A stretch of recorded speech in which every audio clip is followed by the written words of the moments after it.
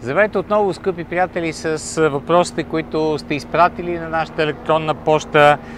В навечерието на Гранд При на Монте Карло един въпрос изпратен от Мартин Барбуков, един от хората, които редовно повдигат теми в нашия диалог. Въпросът е свързан с представянето на Мерцедес и с начина им на работа в последните състезания като м- темата е дали Мерцедес не жертваха част от квалификационното си темпо, за да постигнат по-добри резултати в а, състезанията, както примерно се случи в, в Испания. И а, втора част от въпроса, свързан пряко с надпреварата в а, Монте Карло, дали ще използват а, скъсена база на своя автомобил и каква е разликата в междуосовите разстояния на двата автомобила.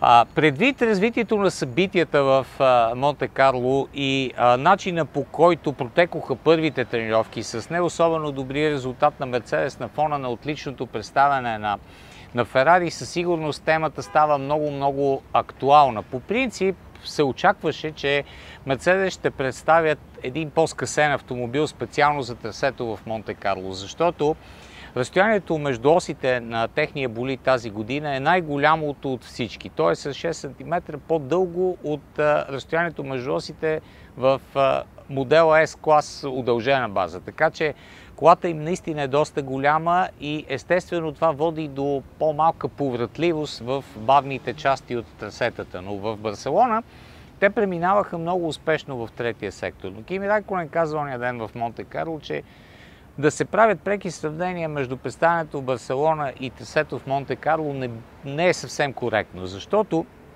има разлика в използването на гумите, има разлика в асфалта, има разлика в един куп параметри, които имат всъщност по-съществено значение, отколкото самата база. А интересното е това, че всъщност голямата дистанция във втората тренировка в, в Монте Карло отново дойде а, именно от работата на автомобилите с гумите, не толкова от междуосовите разстояния. Да, може би те също оказаха някакво влияние, но, но е факт, че Себастиан Фетел направи своя скоростен тур, своето супер представяне с гумите Ultrasoft в третата обиколка след излизането си от бокса. При бота си, при Хамилтън бяха необходими 7-8 обиколки, за да накарат същия тип гуми Ultrasoft да заработят по, по възможно а, по-добър начин. Като и, и Фетел, и Ботас и Хамилтън направиха приблизително 25, 26, 27 обиколки с, с, тези гуми. Но темпото при Мерцедес пак беше по-низко в сравнение с това, което показа а, Фетел. Така че оттам дойде и така предварителното очакване за това, че а, Ферари ще се борят за спечелване на първа победа в Монте Карло от 16 години.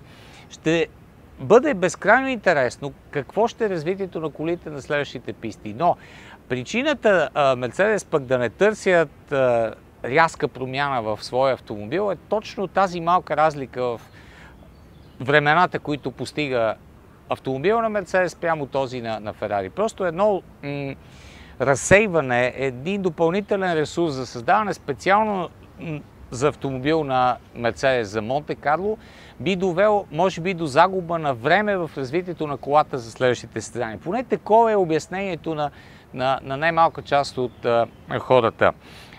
Що се отнася до това какво от тук насетне може да, да, да се случи, може би Мерцедес с а, автомобила си пък ще имат със сигурност а, прекрасно представяне на писти като СПА в Канада или Силвърстон да речем, но а, Ферари балансират колата си по един много добър начин. Тя е по-лесна за каране. Хамилтън каза онзи ден, че той има трудности. Просто автомобил е труден за управление. Оттам идват тези разлики. А естествено, че в, в, в целият пакет междуосовото разстояние има, има значение.